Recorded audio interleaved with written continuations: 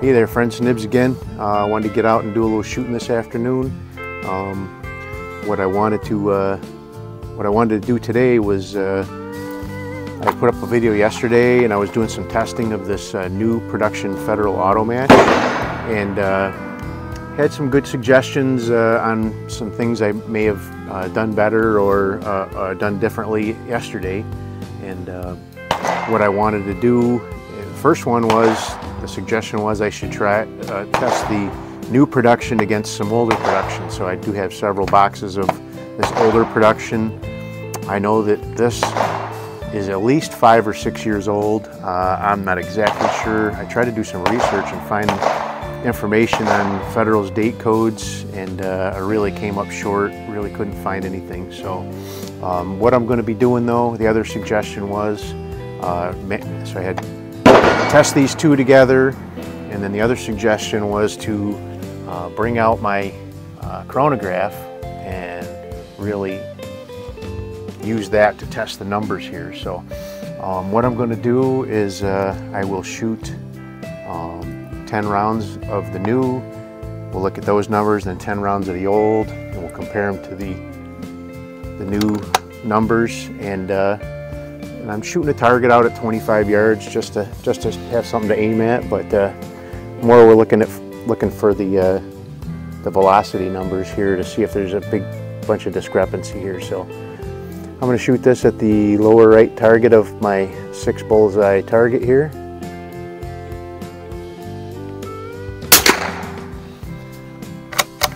So that was uh, 1174.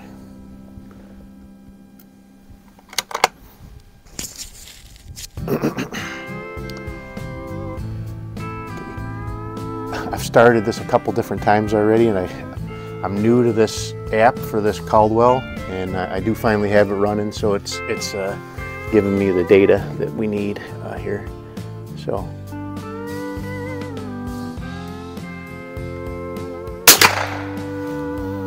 So that one was 1179. So the box says that muzzle velocity on this ammo should be 1200 feet per second. So I'm a little bit out from the muzzle. So I think these numbers are, you know, pretty consistent with reality.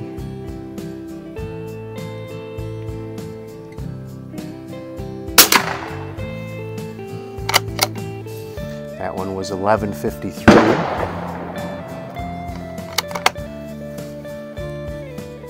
Definitely got some guys over at the other ranges here uh, having some fun today too, so have to bear with that gunfire in the background, but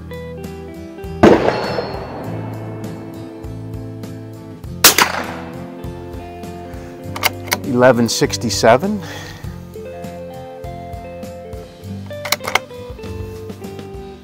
I like this new Caldwell. Uh, I had a uh, Chrony um, F1 and it just seemed to finally give up on me. Couldn't get it to work.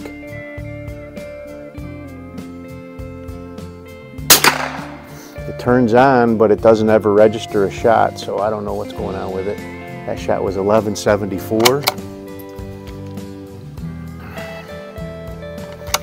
This video ends up running a little too long, I may cut some of these shots down or put this in fast motion or something for all of these shots. I don't know. 1108. So that one was a little weak. I mean, that still, I could, I could detect the less power with that one, but it, you know, the difference, you know, when I, when I think of something that's going to be, you know, that would be, I was thinking more of like, you know, sub thousand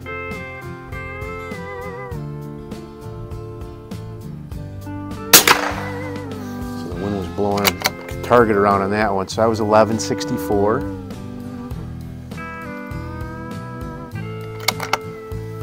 But they're still just about all touching out there.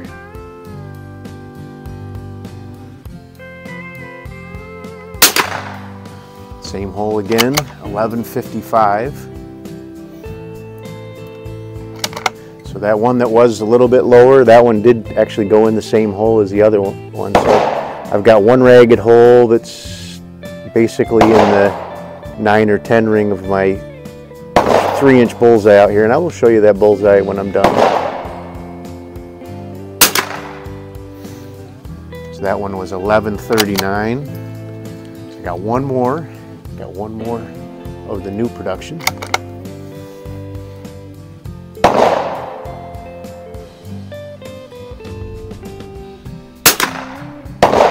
Again, same hole again. So every one of those shots is either a nine or a 10, nine or a 10 on my bullseye.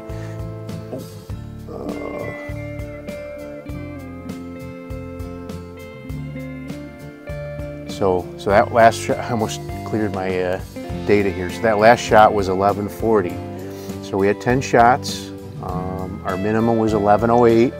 Maximum was 1179. Spread of 71 feet per second and uh, standard deviation of 21.6 and an average of 1155. So had that one that was 1108, that one really kind of threw off our our average a bit, but uh, I still don't think any of those uh, were, were, terrible. You know, this is uh, again, this is bulk box ammo. It's not. It's, they call it auto match, but uh, it is intended to be, you know, plinking or just for target shooting or whatever.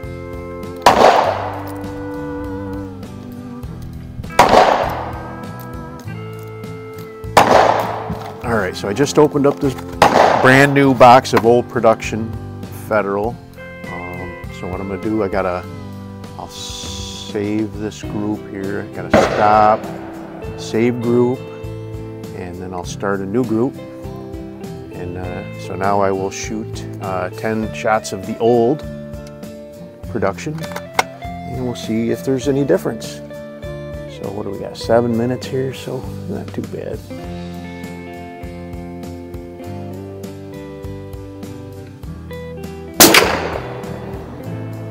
1206.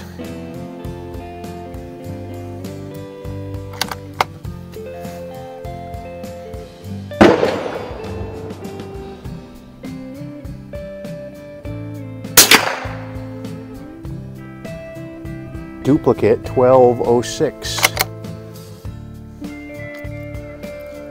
But it did register, so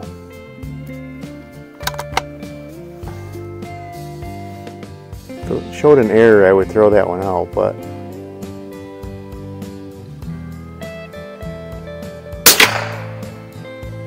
that one was 1222. So it definitely looks like the older production might have a little bit more pepper behind it.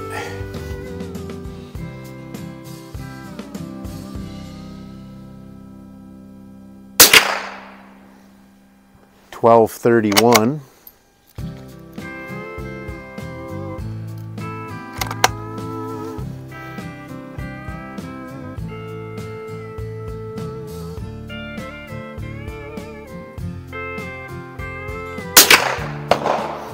Another one hole group going down there, 1208.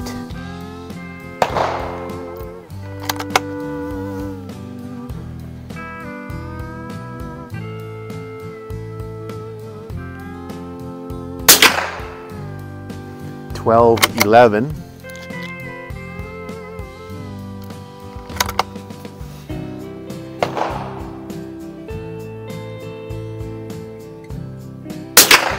Oh, that one was off to the right a little bit. 12, 13. I got one little flyer in this group so far. I got kind of a flyer in the other group too, but they're all pretty much touching in the other one, so.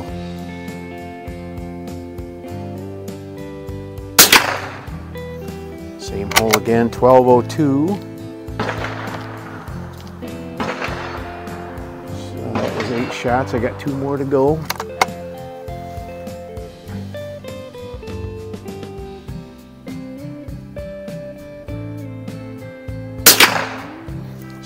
Again, 1206. So it does look like the speeds on, on this older stuff is a little more consistent.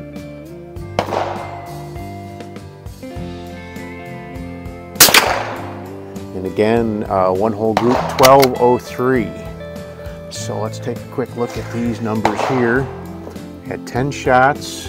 Um, Had a minimum of 1202, maximum of 1231, uh, spread of 29. Our spread on the other one was what, 71? Um, standard deviation of 9.2 and an average of 1210. So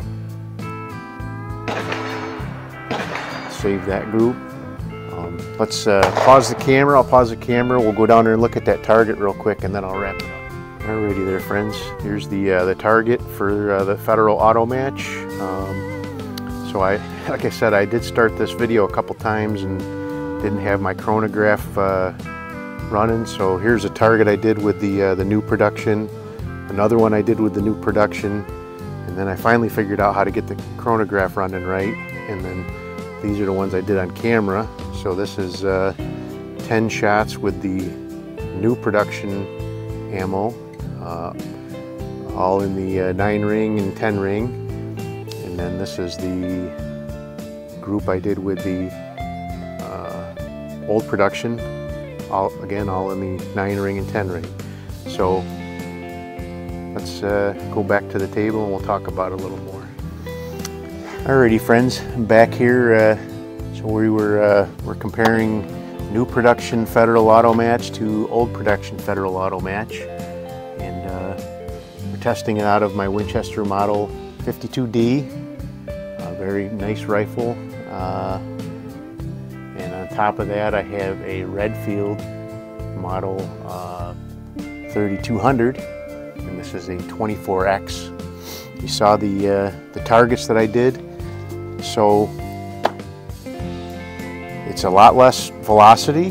Well, a lot less. Uh, it's they they're averaging about 25 or 50 feet per second less than all the older production, but the the accuracy is still right there. Um, out of out of all of the rounds I shot today, I shot 30 rounds out of this box, and uh, I had one that was. Let me go back to that saved group. I had the minimum was 1108. Um, most of them were, all of the rest of them were like 1140 up to uh,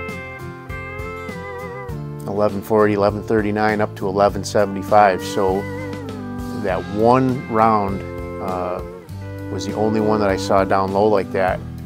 And again, with mass production ammo uh, to have a round that is just that little bit low, I don't think is terrible.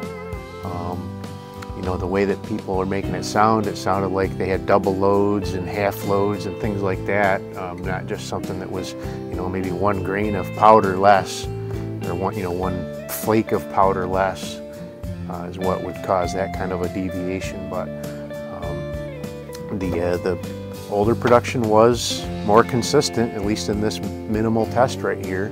I only shot 10 rounds of the old production. I shot 30 rounds of the, the newer stuff today, and I had that one round that was about 30 feet per second less.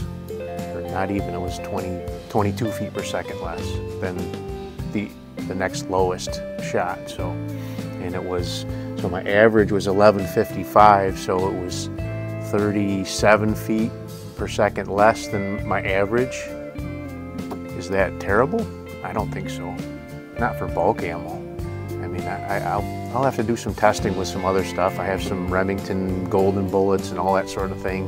Um, I know the Winchester white box is going to be terrible, but um, anyway, I don't want to drag this on too much more. The, the one from yesterday was pretty long, but uh, I hope you enjoyed the video.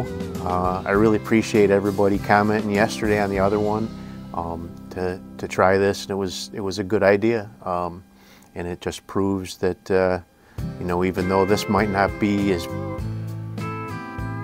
absolutely consistent as the older stuff, it's still a decent quality ammo, and uh, it, and I'll keep buying it. So anyway, hope you liked the video. Like, share, and subscribe, and uh, we'll see you next time. Have a great day.